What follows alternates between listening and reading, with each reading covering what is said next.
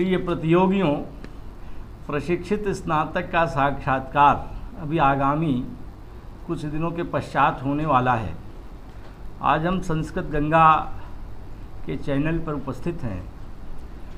Doctor सर्वज्ञ भूषण जी, जो संस्कृत विगत दसों वर्षों से प्रयासशील हैं।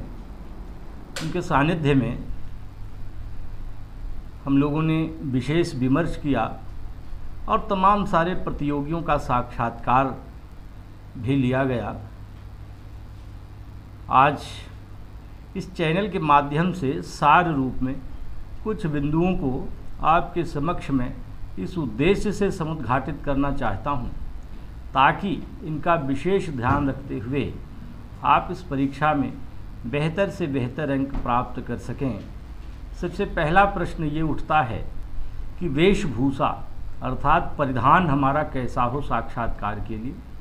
तो इस बात का हमेशा ध्यान रखिए कि किसी भी साक्षात्कार में आपका परिधान बिल्कुल सामान्य होना चाहिए। जिस प्रकार से आज बाज़ार में विभिन्न प्रकार के वस्त्र उपलब्ध हैं, आजकल कटे फटे पैंट, शर्ट आ रहे हैं तो इन पर विशेष ध्यान रखें। दोनों ही वर्ग, चाहे पुरुष वर्ग हों या महिला वर्ग हों अपने परिधान को बिल्कुल सामान्य रखें। यदि महिलाएँ विवाहित हैं तो वे शाटिका में आवें वे साड़ी को अवश्य धारण करें। अन्यथा अविवाहित हैं तो अपना अन्य भी कोई ऐसा परिधान ही पहने जो कि बिल्कुल सादा हो, सादगी भरा हो। इसी प्रकार से पुरुषों से भी अपेक्षा की जाती है कि उनके कपड़े स्वच्छ हों और अति सामान्य हों। फिर जब वे साक्षात्कार में प्रवेश करते हैं तो इस बात की गंभीरता पर ज़रूर उन्हें ध्यान देना चाहिए कि संस्कृत विषय का साक्षात्कार है।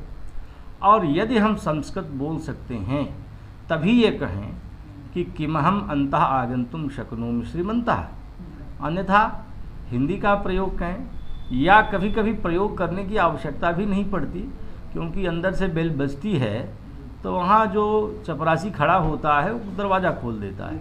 और तुरंत कैंडिडेट अंदर प्रवेश कर देता है और करने के बाद फिर सार्वजनिक रूप से नमस्ते। ये कह दिया जाता है तो बात पूरी हो जाती है और वे संकेत कर देते हैं कि आप बैठ जाइए। फिर आपको बैठ जाना चाहिए, धन्यवाद कह करके। और उसके बाद एकदम सहज भाव में, वहाँ घबराहट नहीं होनी चाहिए। ये अक्सर होता है, देखा गया है कि कभी कभी विद्यार्थियों की जिहवा लड़खड़ाने लगती है। शरीर में, हाथ पैर में कभी कभी कंपन हो जाता है। तो इस तरह की बातें न हों। बिल्कुल सहज भाव में वे आराम से बैठ जाएँ, फिर वे एक एक बात पूछना आरंभ करते हैं। कभी कभी तो संस्कृत में ही कह देते हैं कि आत्मना परिचय संस्कृत भाषाएँ दे। तो आप दो चार वाक्य तैयार रखें। यदि संस्कृत में ही कह देते हैं तो आप वाक्य तैयार रखें। कह सकते हैं कि क्या आप संस्कृत भाषा में बोल सकते हैं? अगर आप बोल सकते हैं तो बहुत अच्छी बात। अगर आप नहीं बोल सकते तो भी ये आप कहिए कि सर संस्कृत भाषा के विषय में हमें जानकारी है।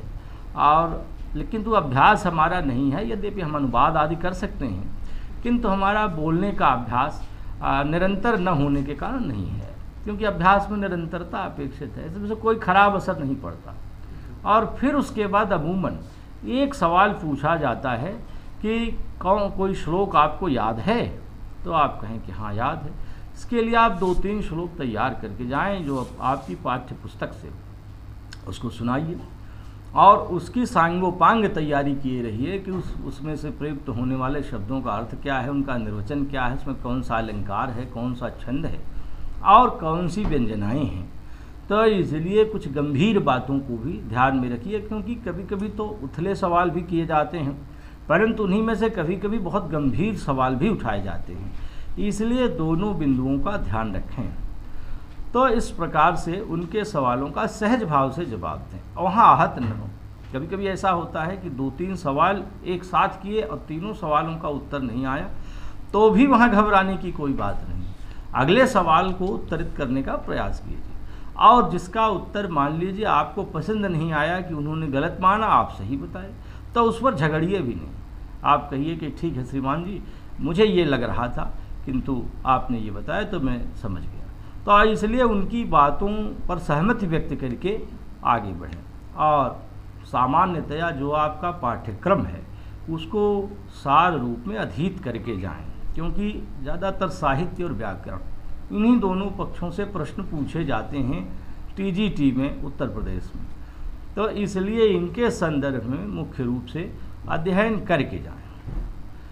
तो ये सामान्य बातें हैं, जो कि आपके संधि समास व्याकरण, संधि समास और संज्ञा प्रकरण, इनसे संदर्भित प्रश्नों के संदर्भ में और साहित्य में रस और रस से संबंधित रहने वाले अन्य पहलुओं पर, जैसे कि कथा वस्तु है और अभिनेता का पक्ष है तो इसलिए वस्तु, नेता और रस तीन ही साहित्य के मुख्य पक्ष हैं।